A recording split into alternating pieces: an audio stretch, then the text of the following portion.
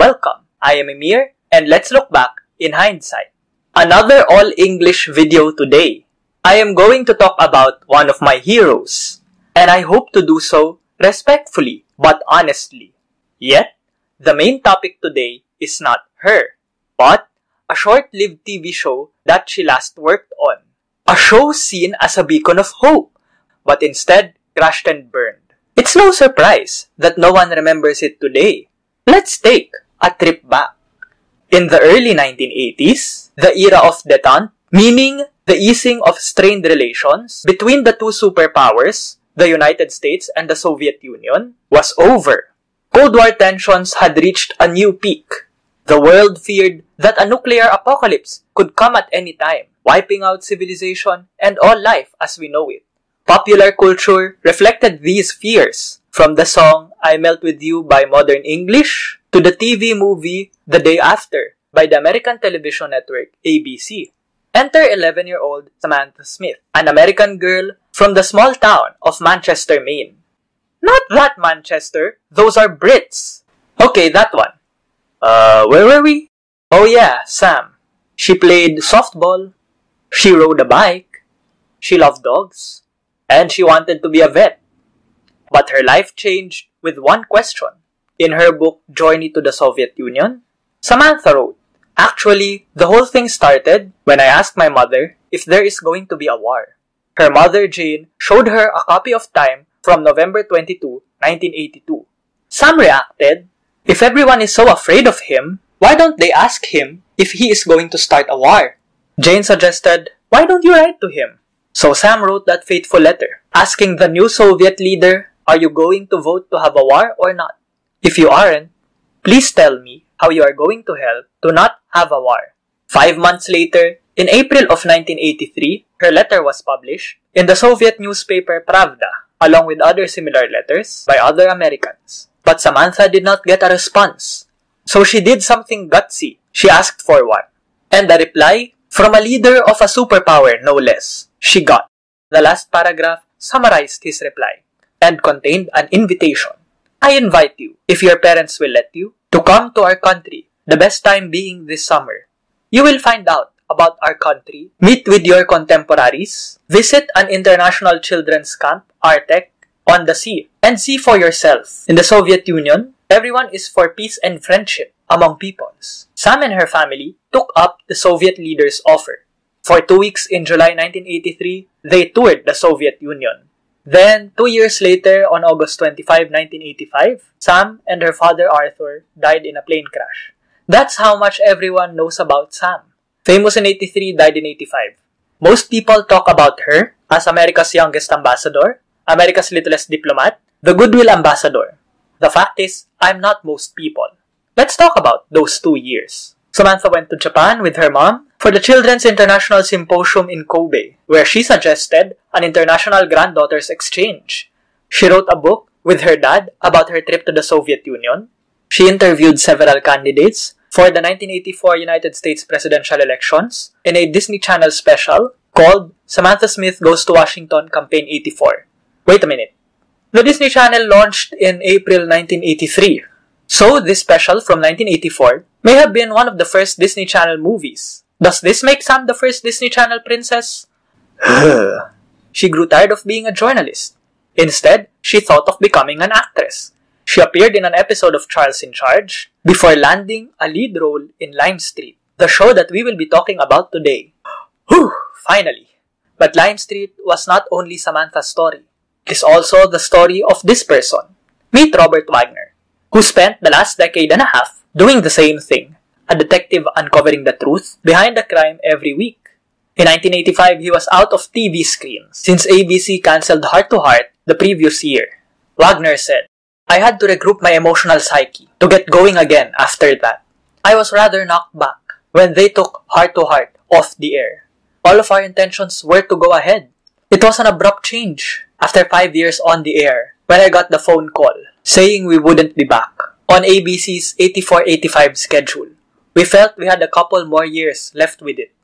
But Lime Street would be his comeback and would be ABC's way of making amends. Lime Street was created by Harry Thomason and Linda Bloodworth Thomason. They would see greater success later with Designing Women, Hearts Afire, and Evening Shade.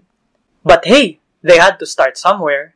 The Thomasons also produced Lime Street together with Wagner, who played the role of J.G. Culver, an insurance investigator. Still an investigator, but at least for an insurance firm this time, the title of the show, Lime Street, refers to Lime Street in London, where Lloyds of London is based. Lloyds of London literally invented the insurance industry and would be interesting to talk about at a different time. Lloyds of London was also Lime Street's original title before the firm declined to allow the use of its name. Like Heart to Heart, Wagner's Culver also has a teammate. Unlike Heart to Heart, Culver's teammate is a British chap named Edward Wingate, played by John Standing.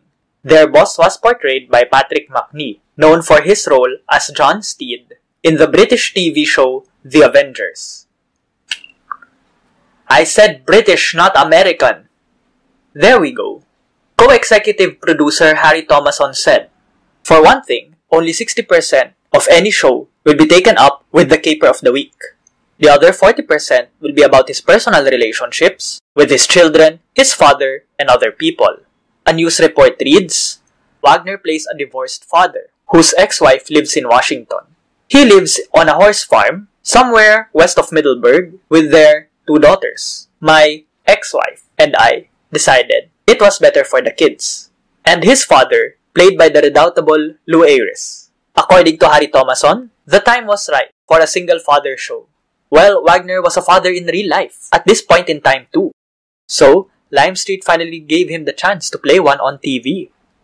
But, Wagner made it clear that there would be no coping with the pressures of single parenthood lectures I don't want to suggest anything like that because that's not what the show is about.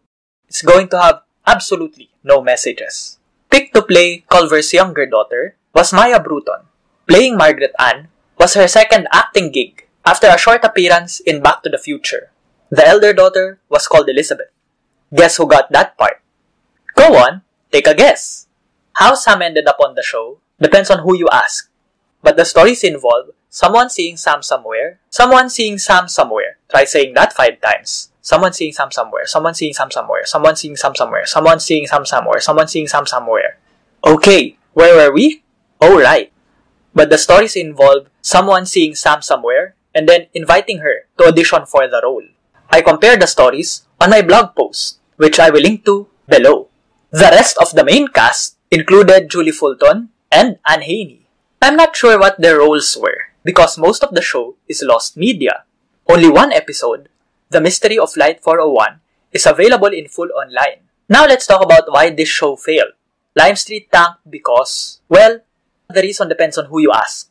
First reason, people who were involved behind the scenes and who have seen the show praised Sam and her performance. Creator and producer Linda Bloodworth Thomason was quoted as saying that Samantha's reading before 20 of ABC's top brass a difficult scene in which she discusses her first period was flawless. She never missed a line and was never nervous. The head of casting said she was magnificent.